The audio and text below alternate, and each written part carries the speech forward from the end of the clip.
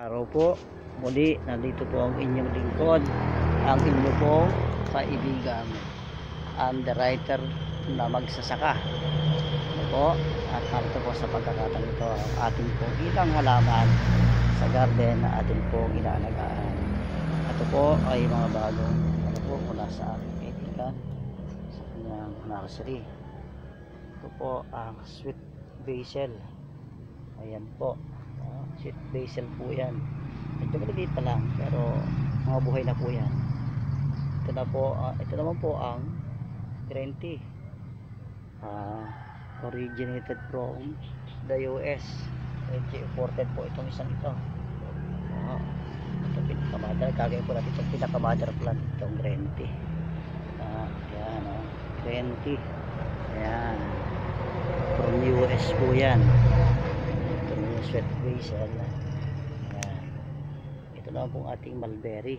Ayan. Ah, ready for ah, sale na din po ito. At mga buhay na po yan. Mulberry.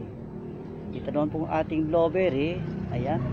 Buhay na buhay na din po ating mga blueberry.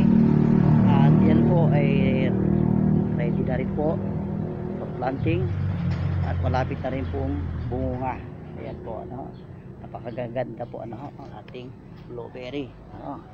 samantala ito naman po ang ating ah, blackberry. Yun blackberry. Opo o ayan. Yun po ang ating blackberry. So napakaganda po ano. Yan ready for pick up na po yan sapagkat may ilang order po sa atin. At yan po naka ready na. Ah, ito po kasing ating ah, blueberry na ito. Ayan o hindi pa siya blue. Kasi siya po ay red pa. Yan o red pa. Mm. Yan hindi pa siya matamis. Yan red pa po. Hindi pa siya blue. Pero ito po yun yung blueberry. Ayan. Po yan at patuloy po natin uh, subaybayan pa ang ilan pong uh, inaalaga natin dito yan yung ating pumangga na naanod ng tubig. Ayan. Buhay na buhay pa rin po yan. Awan Diyos. Yan yan po ay magnolia magnolia. Yan malapit na rin po itong bumunga ayan o may mga musbong na rin na malapit ng musbong. Mm. matibay na ang tayo niyan ngayon. Hindi na siya basta maaanod ng baha. Mm. Samantalang ito pong isa natin ito nasa paso ito. Ayan. Lago na rin po. Ito yung bulaklak bumulaklak na dati. Pero dahil sa masyadong marami at saka hindi kakayanin hindi ayan po natin tanggalin yung bulaklak. At ngayon po ang lago po ng kanyang mga bagong sibula dahon no? yan po no? Double roots po yan. Yan o yan ang ating pong Katimon Magnolia variety. Uh, tabayan na rin po natin malapit na po itong mamunga.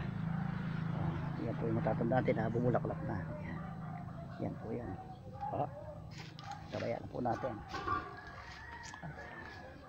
Ito naman po isa. Ayan. Medyo naglinis tayo para makahinga siya. Ayan. Buhay na buhay siya mala malapit na rin siya makasurvive survive naman talaga siya. At ayan po malapit na rin magpakita ng kanyang palatandaan na siya ay magbubunga na. Oh. higit na pitong buwan na po yan. Hmm. samantala ito po mag 9 months na po ito. Hmm. yan ating po insulin medyo malago na yan o kanina gawa tayo ng drainage kasi medyo binabaha talaga po yan yung ating drainage so, yan, para medyo may daanan po ang tubig. Kawawa kasi mapurugas ito naman po ang ating ah, giant. Ayan. Tuloy po ang kanyang paglago. Ayan. Sariwang siwar sariwa ang kanyang mga dahon. Yan 9 months na po ito. At isang taon